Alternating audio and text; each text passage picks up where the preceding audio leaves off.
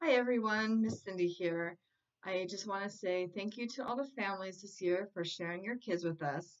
And even though it's been kind of a crazy time this year, we're just lucky enough to have technology to be able to communicate each week with you, either through phone calls, emails, Zoom, YouTube, um, just to check in and see how everybody's doing.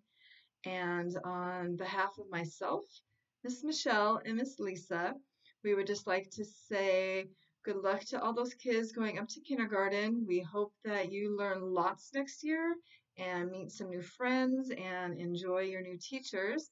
And for those of you coming back to us in the fall, we will see you in just a couple of months. So thank you very much and enjoy your summer and hopefully we'll have a nice warm one. Thanks. Bye. Thanks for a great year.